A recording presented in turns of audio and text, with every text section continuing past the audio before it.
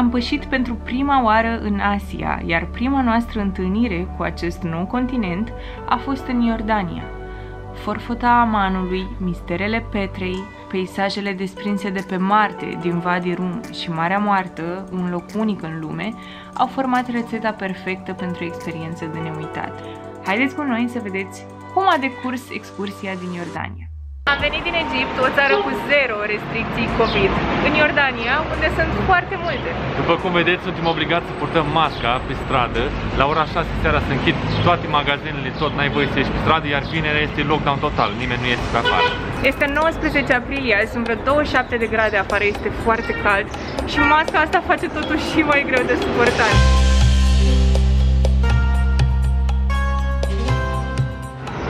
Zic că pe 13 aprilie a început Ramadanul. Este prima oară când călătorim în perioada asta într-o țară arabă.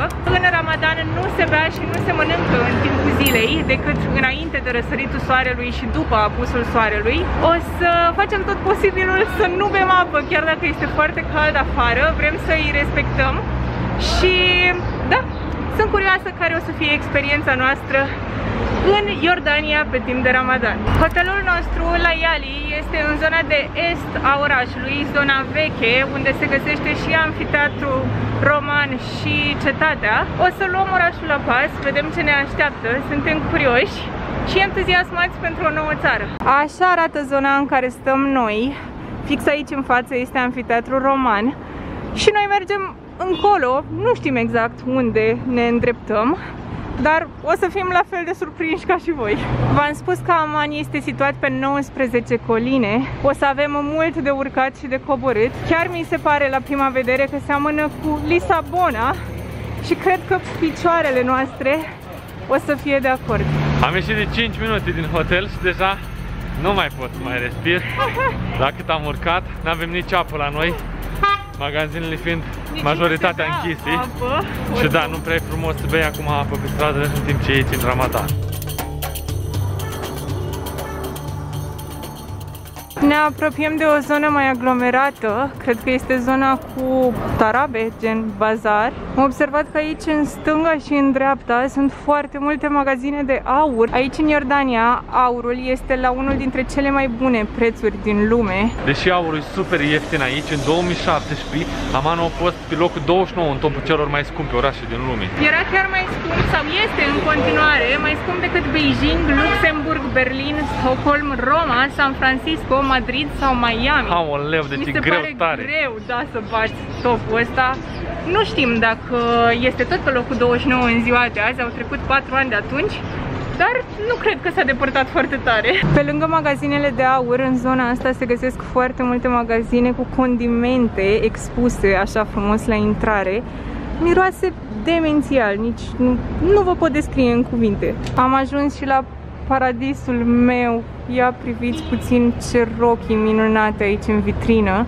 Sunt curioasă ce preț are o minunăție din asta. Și astea pentru copilași sunt adorabile. Ia uitați-vă și aici în față. Cred că sunt extrem de scumpe. Ah, 45 dinars? This is handmade, for that mm -hmm. reason expensive. Ok, ah, dar nu e chiar This is coming mult. from Syria, from uh, United Arab Emirates, from Saudi Arabia. Ah, ok. Yeah. Pentru o rochie superbă de altfel, făcută la mașină, nu lucrată manual, ar fi prețul 45-50 de dinari, ceea ce nu este mult deloc, arată minunat. Am ieșit și noi fix la o oră de vârf, e 1 după amiaza. Ce nebunie aici în intersecție, se claxonează în disperare. Stăm aici la trecere, și nu cred că se face verde, cred că trebuie să trecem așa. Traversăm că altfel nu avem nicio șansă să ajungem pe partea cealaltă. În zonele în care nu sunt atât de mulți oameni o să încerc să mai merg fără mască, pentru că e, e inuman să suporți căldura asta fără apă și cu mască pe față. Din păcate, Adriana nu a mai rezistat fără apă și trebuie să bea că îi s-a făcut răuț. Greu tare să mergi la 37 de grade cu mască. Nu posibil să nu iau apă pe căldurile astea. Ce-am amintit instant. Dacă în 2019 în Aman au fost în jur de 5 milioane de turiști, cred că azi, pe timp de pandemie, într-o zi oarecare de aprilie, suntem doar noi turiști în orașul ăsta. Nu am văzut nicio față europeană, poate sunt turiști, dar sunt tot arabi. Ne simțim așa outsideri aici. După cum bine știți, noi suntem fani ai internetului, așa că ne oprim un pic la Orange să vedem ce opțiuni găsim pentru internet. Ca aici, la fel, netul e gros ca în Egipt. Mi s-a dat un număr aici, 135 suntem noi, 131 este acum la ghișeu, nu cred că ar trebui să stăm foarte mult.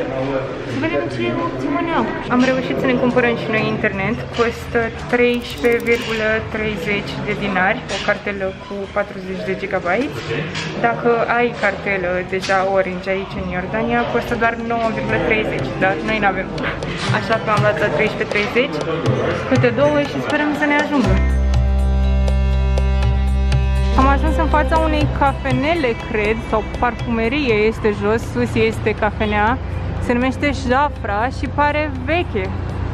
Știți ceva despre ea? I'm a downtown tour guide and I'm well experienced. What do you benefit out of me? I show you sites that you don't find by yourself. I tell you how to save money. I tell you how to get a lot of freebies. Tourists like me for the financial issue.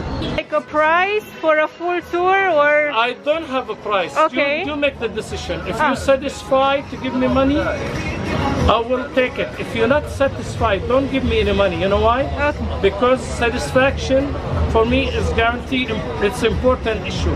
Which Hollywood American US American actor I look like with my smile? Whoa. Whoa, whoa, whoa. Hey, you don't fuck with me, you son of a bitch. I'm Robert De Niro. wait, wait, wait. Wait, there you go. There you go. Okay, so you're Ahmad, right? I am Ahmed. Okay. Nice to meet you. Yes, nice to meet you. Mi s-a părut mega amuzant omul ăla care se mâna cu De Niro. O zis că e și din America. O zis că are tururi, nu știu ce. Din Poate, America dar cheamă Ahmed cu toate Da. astea. poate o fi din America, habar n-am. Oricum vorbea bine engleză, dar oricum omul amuzant. Pe lângă toată mărșăvia lui a fost amuzant, nu a fost nașpa. Am găsit măștile astea cu motive tradiționale. Asta îmi place foarte mult, cu broderie. Nu înțeleg dacă e un dinar sau mai mult. Hai să întrebăm. One GD? O vrei? Eu. Sunt surprinsă de cât de prietenoasă e lumea aici. Nu te agasează nimeni, îți fac cu mâna, te invită frumos, dacă le spui că nu, că nu vrei ceva, nu îți mai spun nimic. Mi se pare foarte tare să poți trece așa nestingerit. Și totul să fii într-un fel de bazar. Găsești orice pe bulevardul ăsta, de la condimente, ia uite, boxeri, șosete, ochelari de soare. Cail, cailun. Cail, cailun. Dacă plănuiți să veniți în Orientul Mijlociu, din Iordania trebuie să vă luați costumații tradiționale. Sunt absolut divine. Eu m-am îndrăgostit, mi le-aș lua pe toate. În Egipt nu am văzut nimic de genul ăsta. Aici arată toate așa expensive și cu toate astea sunt destul de ieftine. Cred că abia acum intrăm în zona mai aglomerată. Putem să trecem și Intrăm. Ia uite aici deserturi, dulciuri, ce bine arată. Turnurile de aici, de peste drum, sunt de la moscheea Grand Hussein. Priviți cât de înalte sunt. N-am intrat niciodată într-o moschee de când umblăm noi prin lumea arabă de puțin timp. Parcă nu ne-am găsit curajul, nu știu. Adică- Știm că se poate intra, că au voie turiștii atâta timp cât sunt acoperiți, dar parcă n-am avut tragerea aceea, Ne-am nu obișnuit știu. noi cu zonele astea și cu lumea lor, dar parcă, nu știu, parcă n-am... Parcă e prea intim să intri într-o fix, moschee. fix asta e cel mai bun cuvânt, intim. Am schimbat 20 de euro pe 16 dinari din astea. E un curs destul de bun, pe net e cam 16,80 sau ceva de genul, dar oricum aveam nevoie de cash. Pentru că, după cum v-am mai spus, la bancomat îți ia între 5 și 7 dinari pentru fiecare retragere și noi aveam nevoie doar de vreo 10 dinari din astea. Ia priviți acolo peste drum, sunt mături și coșuri din paie, din acelea de care se găsesc și la noi. Magazinele astea care vând parfumuri miros atât de frumos. Treci de la miros de parfum la miros de condimente. E un uh, spectacol al simțurilor aici. Am ajuns într-o zonă cu șișa. Ia priviți cum au cărbunii aici în față și multe modele de narghila, plus toate tuburile astea din care tragi model. Look so good! Arome de narghila, miroase într-un mare fel, deci nu vă puteți imagina.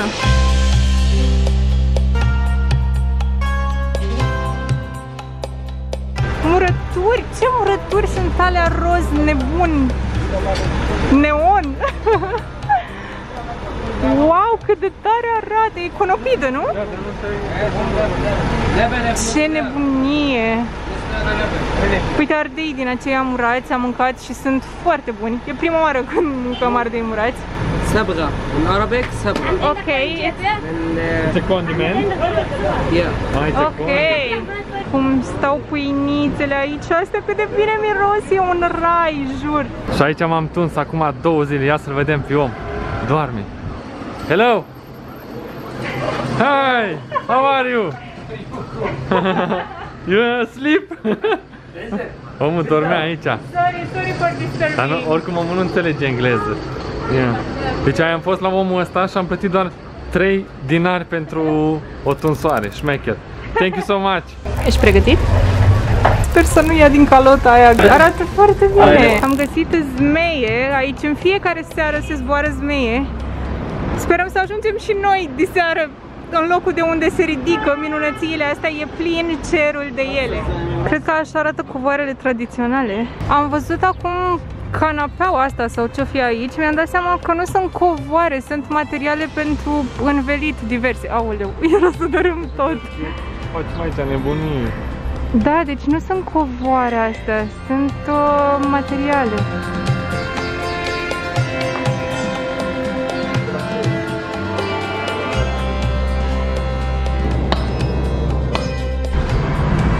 Am înaintat puțin, am ieșit din zona bazarului și am ajuns la The Jordan Museum. În muzeul ăsta se află cele mai vechi statui din lume, datează din 7500 înainte de Hristos. Ne-am oprit să luăm un suc de portocale. Ce presă faină are. Face sucul fix aici în fața noastră. Ne-a spus domnul că pentru o sticluță din asta dăm 2 dinari. Foarte interesantă mașinăria asta, n-am mai văzut de genul ăsta. Așa arată un dinar iordanian, sunt tot bani de hârtie și valorează în jur de 1 dolar 40, în jur de 6 lei. Când am ajuns aici, omul făcea deja un fresh, l-a lăsat deoparte și ne-a făcut unul nou, special. Vai, abia aștept să-l pus.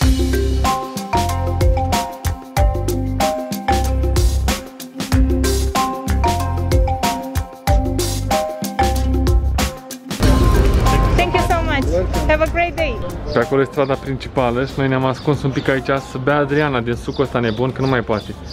Ia uitați cum se bea, cum beau americani alcool. Ia. Zim că e bun.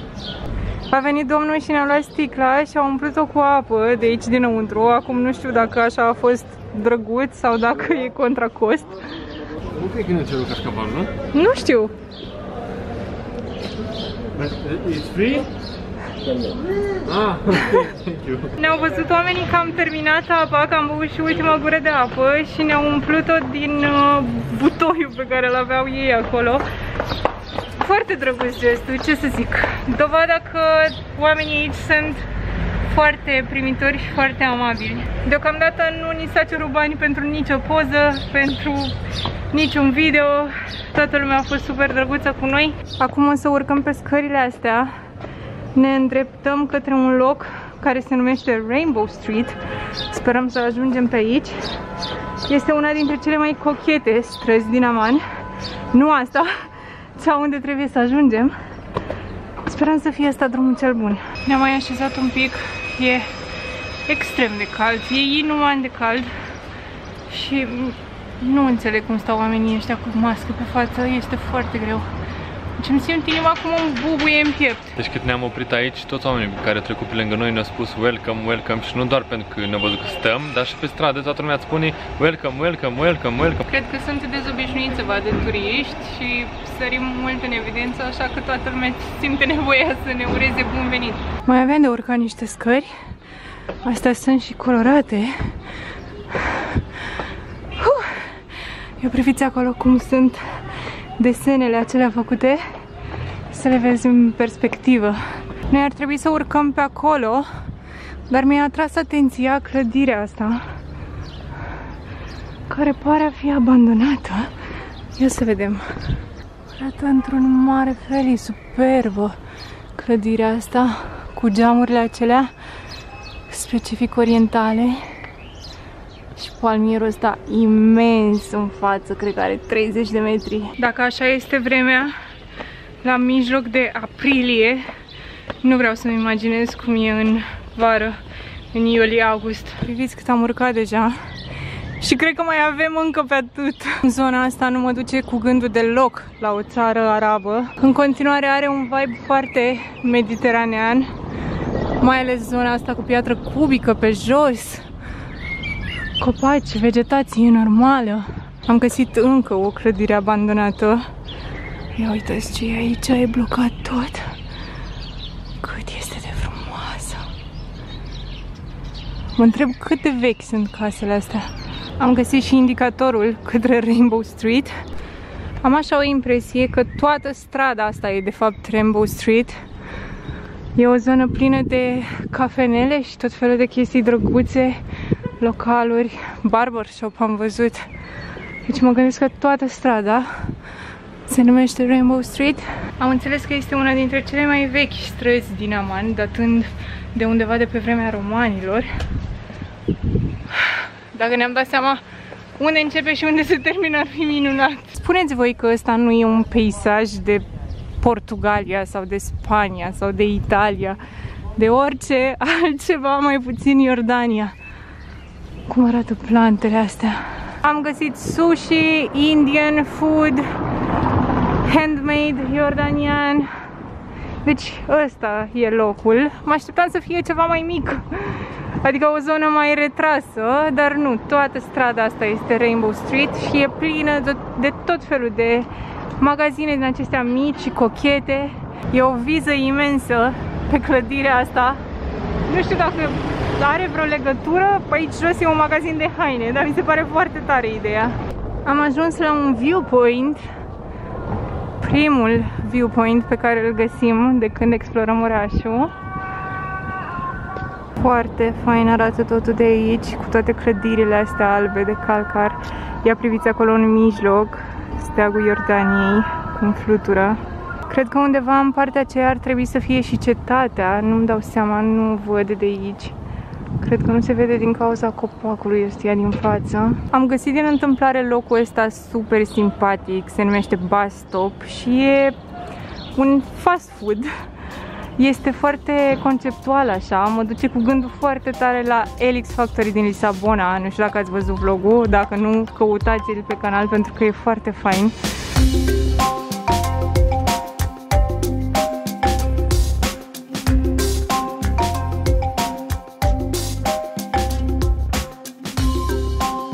Am găsit și stația asta de alimentare, care pare a fi fost una reală. Se lucrează acum la locul ăsta, nu știu dacă a mai fost deschis sau acum este inaugurat. Dar mi se pare genial și mi-ar plăcea să venim și noi aici să mâncăm. Deocamdată nu e nimeni, cred că și din cauza Ramadanului. O să vedem. Puțin mai jos de basta am găsit restaurantul ăsta. Are o intrare super superbă, Doamne Dumnezeule, cum arată ușa asta, ce detalii frumoase are. Și priviți înăuntru, ce nebunie, ce terasă cu viu asupra orașului acolo sus. Niște capiteluri. Wow, cât e de frumos. Se numește Al Rihan, Vadi Al Rihan. Superbă zona, îmi place mult de tot. Și sunt sigură că mai sunt chestii drăguțe, dar pe noi ne cam presează timpul, e 4 jumate. Vrem să ajungem și la cetate și acasă până la lockdown, la ora 6. Trebuie să ne grăbim, suntem deja contra cronometru, ca de obicei, ce credeți? Tocmai acolo trebuie să ajungem noi, acolo este cetatea. Se vede templul lui Hercule acolo în dreapta undeva. Am comandat un Uber pentru că este foarte departe, nu avem nicio șansă foarte să mergem până acolo. 80 acolo. Un dinar 80? Merită.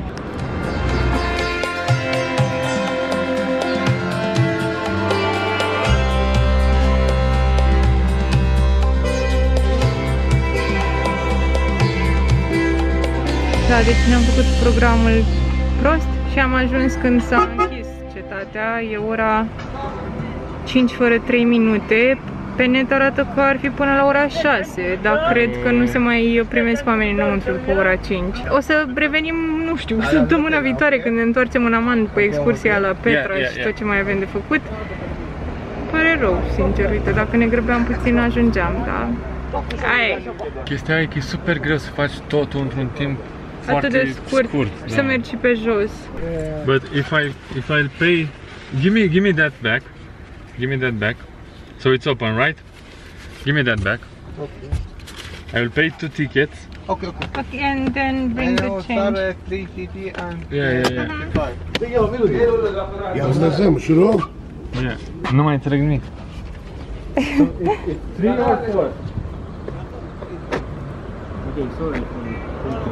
Thank you so much. Bye. Am ajuns și în cel mai cunoscut loc din uh, oraș. Am ajuns la cetatea Amanului. Suntem puțin contra cronometru. Ni s-a spus că e închis, după aia ni s-a spus că e deschis. Am plătit 3 dinari de persoană intrarea aici. Nu ni s-a cerut nicio taxă pentru fotografii sau ceva de genul, nu ne-au zis nimic de cameră. Suntem doar noi aici, aparent, nu mai e niciun turist. Chestia e că eu cred că ăștia spaznici, normal aici e închis și ne-au dat nouă voi ca să mai cipească un bănuț. Posibil. Și ți-au uh, păstrat și un dinar în plus. Da, o să când de la final. Să vedem dacă ne dă. ce? Până una alta, priveliștea e fabuloasă. Câte case, câte blocuri sunt, nu vine să cred. Și sunt de jur împrejur, cât vezi cu ochii. Internetul spune că templul lui Hercule a fost construit în anul 162 înainte de Hristos, pe vremea lui Marcus Aurelius.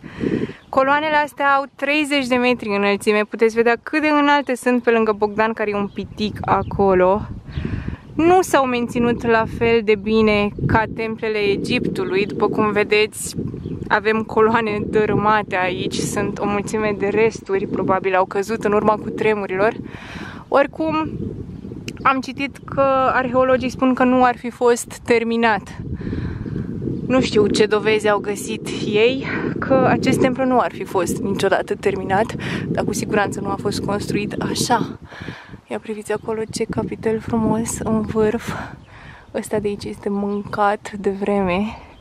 Am văzut că mai sunt și acolo în față câteva, cred că fac parte tot din templu.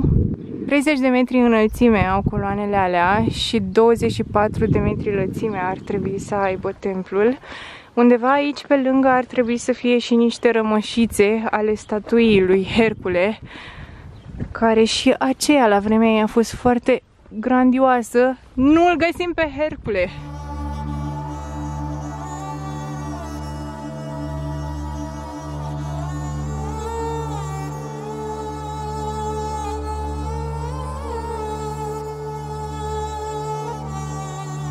Am găsit și rămășițele statuii lui Hercule, o bucată de mână și o bucată de genunchi este tot ce a mai rămas din ea de-a lungul timpului. Am găsit aici o plăcuță care spune că avea 13 metri înălțime și era cea mai înaltă statuie la vremea aceea când a fost construită. Se presupune că tot templul ăsta și inclusiv statuia au fost distruse de cutremure de-a lungul timpului. Mi se pare ciudat, ținând cont că templele egiptene din aceeași perioadă sau chiar mai vechi s-au menținut mult mai bine, arată impecabil chiar și azi. Acesta este în mare parte distrus, dar chiar și așa este frumos să-l vedem aici, pe dealul Amanului. Mi se pare foarte ciudat că găsim aici rămășițe ale unor civilizații ca romanii și grecii, s-au întâmplat atât de de mult timp încât nici nu mai pare real. Este incredibil să te gândești cât de vechi este locul ăsta, prin câte a trecut.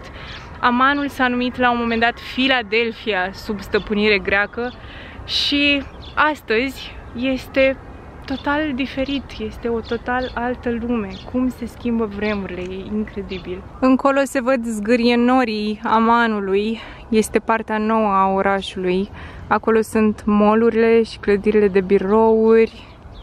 Arată diferit zona aceea, zici că ești într-un alt oraș. Aici ar fi Palatul Umeiad, care datează de undeva din secolul 8. Are o cupolă foarte interesantă. Și ia să vedem dacă se poate intra, că văd că e deschis. N-aș ști să vă zic multe despre locul ăsta, dar este extrem de vechi și asta contează. Ia priviți cum arată partea restaurată și cum arată partea veche a acestui palat.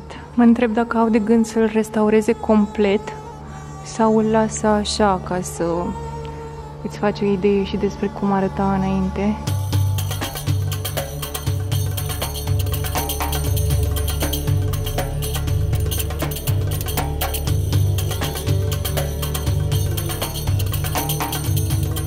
Fix lângă templul lui Hercule este și Muzeul Arheologic Iordanian. E complet închis acum, nici nu știu dacă este deschis în perioada asta cu pandemia. Totul a fost pus pe pauză de COVID. Multe muzee sunt închise, multe localuri sunt închise, nu te mai poți bucura de aceeași experiență de care te bucurai cu ani în urmă. Noi suntem totuși fericiți că am avut ocazia să ajungem aici și peste tot pe unde am ajuns pe perioada pandemiei. O perioadă în care lumea a stat pe loc și cu toate astea noi am avut ocazia să vedem niște locuri minunate. Dacă stai aici, le iei pe fiecare în detaliu, descoperi o mulțime de mistere uitate aici. Din păcate, noi suntem pe fugă. Se închide situl în 5 minute, așa că trebuie să fugim. Uh! Situl? Se închide orașul în O peșteră. Se... Uh, ce drăguț! O peșteră din epoca bronzului. Doamne, câte nebunii sunt aici. Orașul se închide în 5 minute, așa că trebuie să fugim. Nu faceți ca noi, nu veniți cu o oră înainte de închidere aici la cetate. Vă trebuie mai mult de atât să explorați locul și să vedeți fiecare artefact în parte, fiecare bucățică de piatră lăsată aici. Locul ăsta a trecut prin mii și mii de ani și e genial că putem călca în asemenea locuri și astăzi. Și uite un pic, am avut tot locul ăsta pentru noi. Sper să avem și Petra în fel.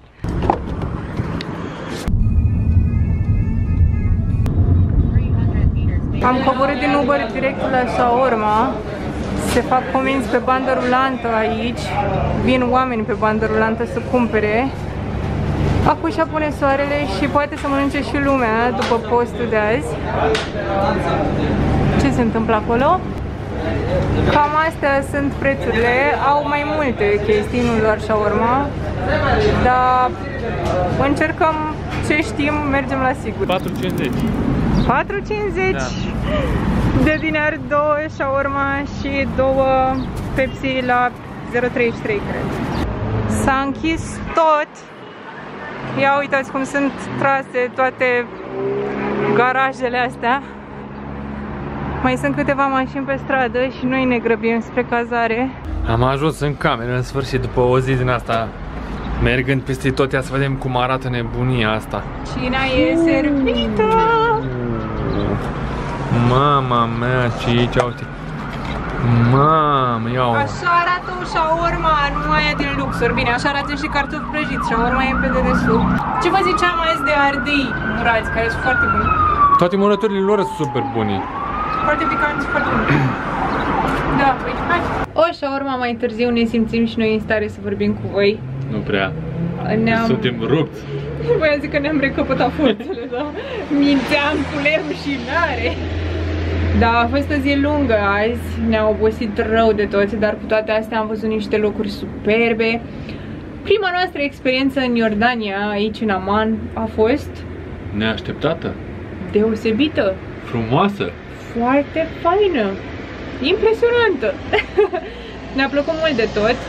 Am întâlnit niște oameni foarte faini. Um, am fost surprinși. Cred că asta e ideea zilei Noi de am azi. plecat cu gândul că tot o să fie la fel ca în Egipt, dar se pare că e diametral opus. E foarte diferit și diferit e bine, ne place unde am ajuns și abia așteptăm experiențele următoare.